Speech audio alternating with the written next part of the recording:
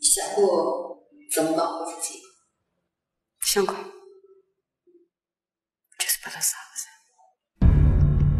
这个女孩为帮助母亲脱离父亲的折磨，说服自己的哥哥，制造了一场灭绝人伦的家庭惨剧。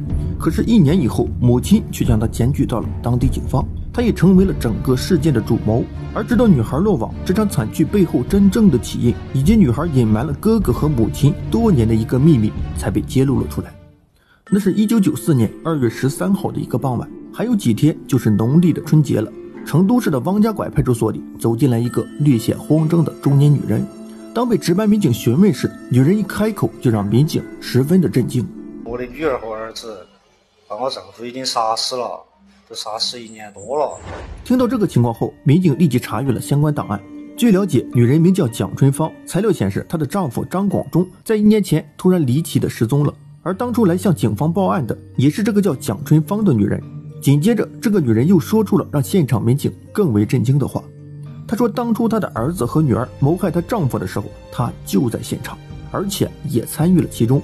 而谋害张广忠的行为和提议，都是她年仅二十岁的女儿一手策划的。”随后，警方立即对蒋春芳的儿子和女儿进行了抓捕。由于蒋春芳来警局之前，她的子女并不知情，所以对这对兄妹的抓捕也十分的顺利。那么，悲剧发生的那一天，他们的家庭究竟经历了什么呢？那是一九九二年六月份一天的晚上，张广忠一家人正在一种紧张且压抑的气氛中吃着晚饭。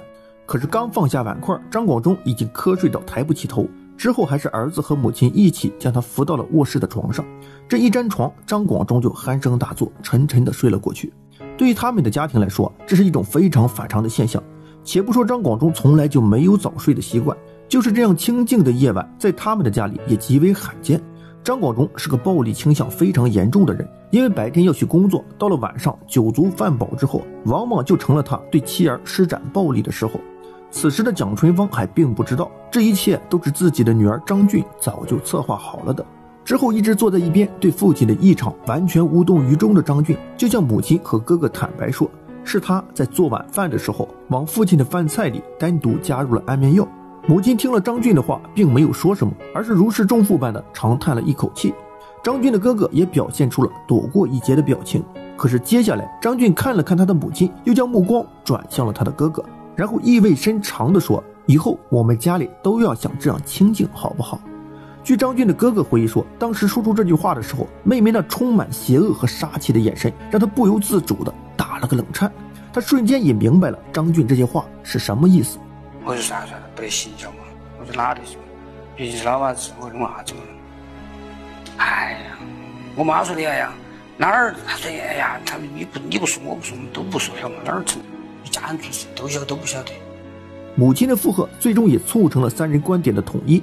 不过让蒋春芳母子至今都不能理解的是，张俊为什么要主动挑起这件事情？其实，在他们家里，张广忠唯一没有打过的人就是张俊。而且平时对待张俊的态度也还不错。况且在事发之前，张俊因为工作原因已经搬出去住了，平时也只有节假日的时候才会回家住上两天。所以，直到被审问期间，蒋春芳母子俩还统一口径的认为，张俊之所以谋划了这起惨案，就是为了帮助自己的母亲脱离苦海。不过，让人非常意外，在张俊的亲口供述中却是另外一个版本。在这个版本里，他对张广仲的憎恨起始于他还在青春期的时候。张俊记得那一天，张广忠从外面给他买了一件新衣服回来，并且让他穿上试一试合不合身。张俊高兴地回到房间里，很快就把衣服换好了。他过来过来给我看，你衣服没对头，然后我就过去了。哎，这儿配下，那儿配下，这儿抹下，那儿抹哈，我就觉得这动作是不是有点过火了？当时正值懵懂时期的张俊，虽然明显觉得张广忠的举动有些过火了。但他还是自欺式的劝告自己，说父亲的举动应该是一种无意识的行为。可是直到不久后的一次遭遇，让张俊彻底看透了张广忠那张龌龊的嘴脸。那是一天晚上的深夜，张俊突然从睡梦中惊醒过来。醒来后，他朦朦胧胧的就看到了张广忠坐在自己的床沿边。看到他醒来，张广忠帮他掖了掖被子，然后转身就走了出去。而那一刻，张俊蜷缩在被子里的身体已经止不住的瑟瑟发抖。因为在他清醒之前，他清晰的感觉到了有一双粗糙的大手啊伸进了他的被子里。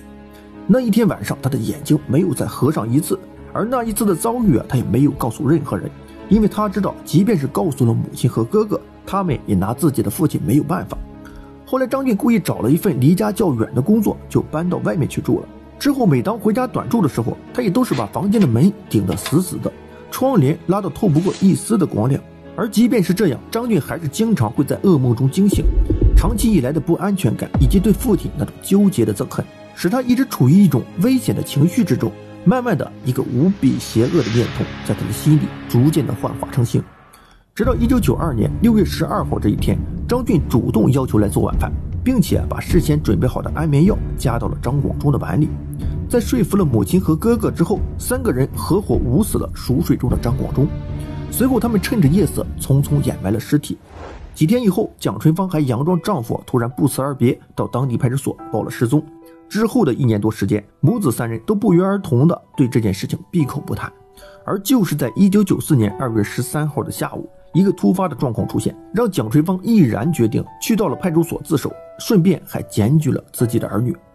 原来那一天，蒋春芳正在家里准备着年货，一个熟悉的邻居突然找到他，说一年前的那天晚上，他看到了蒋春芳母子埋尸的整个过程，而且要向他勒索六千块钱，否则的话就要去派出所举报这件事情。他就要去告我，他要去告我，我不如我自己走进去，我投案自首我还安一等。他去卷进我，我就捞我这儿的嘛。最终，张俊兄妹因涉嫌故意杀人，分别被判处了死缓和无期徒刑。而考虑到其母亲的自首情节以及检举有功，最终蒋春芳被判处了有期徒刑十二年。在接受采访的时候，蒋春芳的刑期早已结束，并且还找到了一个老伴儿，重新组建了家庭。但是这么多年来，他一直不敢去探视自己的儿女，尤其是女儿张俊，因为毕竟他的减刑是靠着检举自己的儿女得来的。而张俊也确实是一直理解不了母亲当初的决定。为了让这对母女各自打开心理上的枷锁，监狱民警经过努力，最终促成了他们母女相见的机会。那么，这对相隔十几年未见的母女初次见面，又会是怎样一番的场景呢？你好吗？好。你想不想我来？想你来，你来不到的嘛。来不到，人家就来了。你买的那个球拍大拿不出来的。啊？对呀。我想起来了。请看一下。第一次见面的时候，你高兴吗？当时不高兴。哎呀，我觉得高兴不起来。